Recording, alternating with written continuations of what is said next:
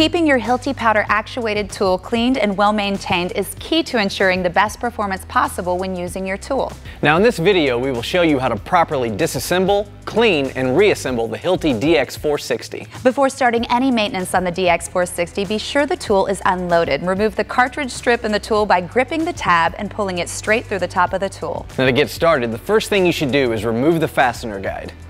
Remove the fastener guide and drive piston. Press and hold the silver button on the side of the fastener guide and unscrew it.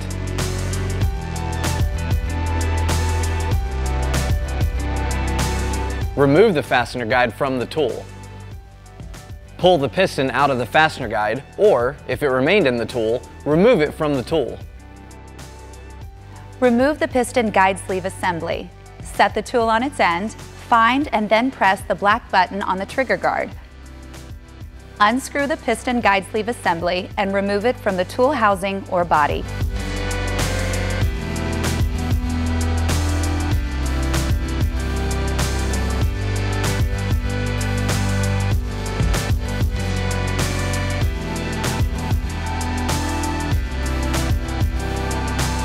Once you've disassembled the tool, you should now take the time to clean the tool.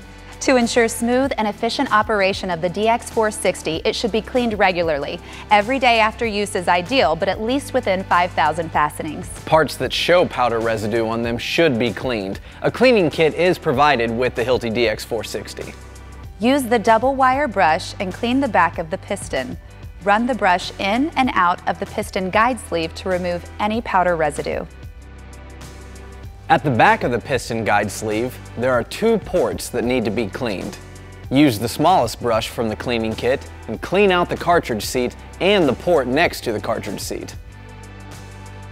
Once the brushing is completed, spray a little Hilti spray lubricant on the brushed parts. Apply sparingly and wipe with a cloth to leave a fine film on the parts. Only use the Hilti spray lubricant. It's a non-flammable lubricant which helps to break down the powder residue and is specifically designed for Hilti powder actuated tools.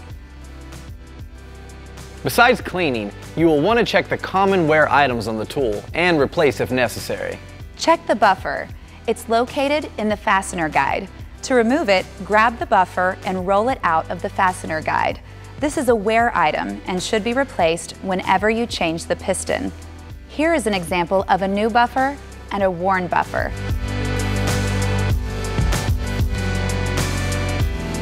To replace it, just snap it into place on the fastener guide.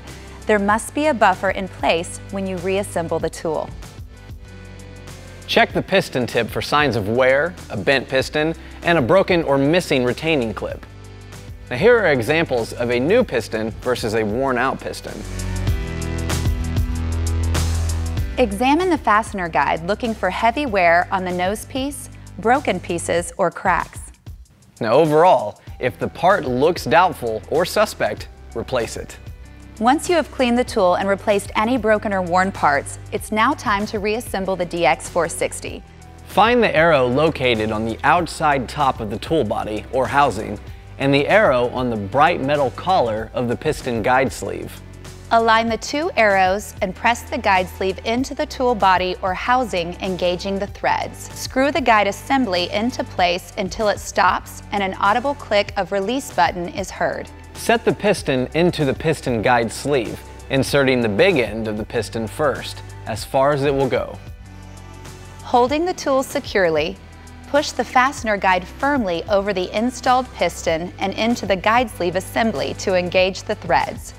Maintain pressure on the fastener guide and screw it into the tool until the fastener guide starts clicking or ratcheting.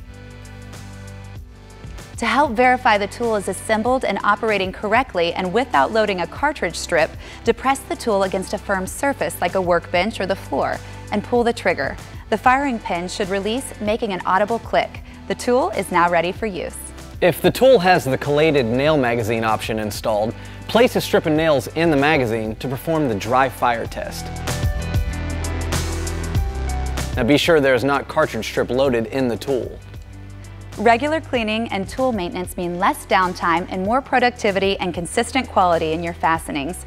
For more information regarding proper tool maintenance, refer to your tool's operator manual or contact Hilti Technical Services.